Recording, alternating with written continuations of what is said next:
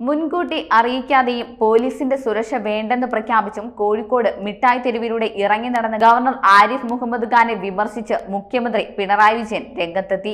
ഉന്നത സ്ഥാനത്ത് ഇരിക്കുന്നവർ ഇത്തരത്തിൽ പെരുമാറുന്നത് അനുകരണീയമായ മാതൃകയല്ലെന്ന് അദ്ദേഹം അഭിപ്രായപ്പെട്ടു. അതേസമയം ഇത്തരത്തിൽ ഇറങ്ങി നടക്കാൻ സാധിക്കുന്ന സംസ്ഥാനം ഇന്ത്യയിൽ തന്നെ വേറെ ഏതുണ്ടെന്ന് മുഖ്യമന്ത്രി ചോദിച്ചു. കേരളത്തിലെ ക്രമസമാധാന നില ഭദ്രമാണെന്ന് നേരിട്ട് മനസ്സിലാക്കിയ ഗവർണർ അക്കാര്യം രാജ്യത്തിന് ബോധ്യപ്പെടുത്തി കൊടുത്തെന്ന് മുഖ്യമന്ത്രി പരിഹസിച്ചു. അവിടെ എത്തിയപ്പോൾ അദ്ദേഹം മറ്റൊരു കാര്യം മനസ്സിലാക്കിയിട്ടുണ്ടാകും. നമ്മുടെ രാജ്യത്ത് ഇതുപോലെയുള്ള ആളുകൾ മുൻകൂട്ടി അറിയിക്കാതെ ഇത്തരത്തിൽ ഇറങ്ങിച്ചെല്ലാൻ സാധിക്കുന്ന എത്ര സ്ഥലങ്ങളുണ്ടാകും? എത്ര സംസ്ഥാനങ്ങളുണ്ടാകും? അതാണ് കേരളത്തിന്റെ ഒരു പ്രത്യേകത. കേരളത്തിൽ ഇതുപോലെ ഇറങ്ങിച്ചെല്ലുന്നതിനോ നടക്കുന്നതിനോ സാധാരണഗതിയിൽ യാതൊരു പ്രശ്നവുമില്ല. കേരളത്തിന്റെ ക്രമസമാധാന നില വളരെ ഭദ്രമാണ്. എന്നത് ഗവർണർക്ക് തന്നെ ഇതിലൂടെ ബോധ്യമാവുകയും രാജ്യത്തെ ബോധ്യപ്പെടുത്തുകയും ചെയ്തു. എങ്കിലും ഉന്നത സ്ഥാനത്തിരിക്കുന്ന ഒരു വ്യക്തി പ്രോട്ടോകോൾ എല്ലാം ലംഘിച്ച് തോന്നിയ പോലെ ഇറങ്ങി നടക്കുന്നത് അനുകരണീയമായ ഒരു മാതൃകയല്ല. അദ്ദേഹം ചെയ്തത് തീർത്തും തെറ്റായ ഒരു കാര്യമാണ്. അദ്ദേഹം മിഠായി തെരുവിൽ പോയി എല്ലാ കടകളിലും കയറി ഹൽവ രുചിച്ചു നോക്കി. അതെല്ലാം നന്നായി. മിഠായി തെരുവ് പ്രശസ്തമാണെന്ന് അദ്ദേഹം കേട്ടിട്ടുണ്ടാകും. അതുകൊണ്ടായിരിക്കും അവിടേക്ക് പോയത്. മുൻകൂട്ടി അറിയിച്ച് അതിന് അനുസരിച്ച് നടപടികൾ സ്വീകരിച്ചാണ് പോകേണ്ടത്. ചില കാര്യങ്ങൾ മനസ്സിൽ വെച്ചുകൊണ്ടായിരിക്കുമല്ലോ ഗവർണർ ഇറങ്ങിയിട്ടുണ്ടാവുക. അത് എന്താണെന്ന് അദ്ദേഹം തന്നെ വ്യക്തമാക്കേണ്ടതാണ്.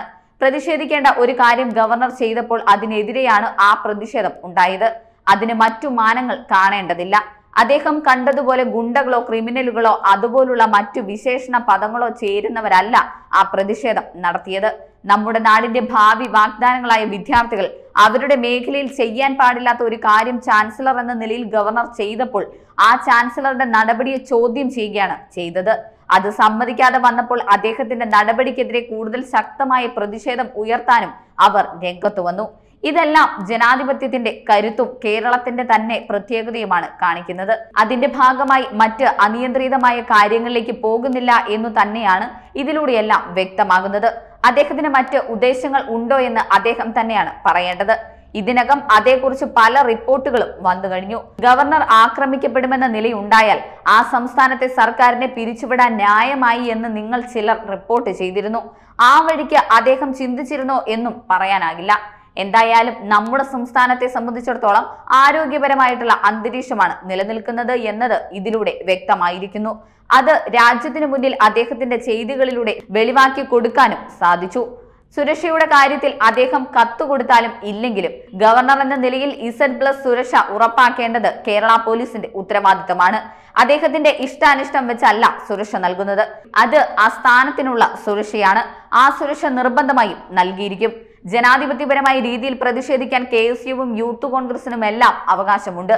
അത് ജനാധിപത്യപരമായ രീതിയിൽ വേണോ എന്ന് അവർ തന്നെ തീരുമാനിക്കണം. എന്തിനാണ് പ്രതിഷേധിക്കുന്നതെന്നും പറയണം.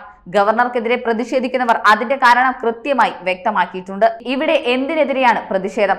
ഈ നവകേരള യാത്ര ഏതു തരത്തിലാണ് യൂത്ത് കോൺഗ്രസിനും കെ എസ് യുവിനും എതിരെ വരുന്നത്? അതുമല്ലെങ്കിൽ കോൺഗ്രസിന് എതിരാകുന്നത് എങ്ങനെയാണ്? ആരെങ്കിലും പറഞ്ഞോ? ഇല്ലല്ലോ. ജനാധിപത്യ സംവിധാനത്തിൽ എന്തിന് പ്രതിഷേധിക്കുന്നു എന്നത് പ്രധാനപ്പെട്ടതാണെന്ന് മുഖ്യമന്ത്രി ചൂണ്ടിക്കാട്ടി.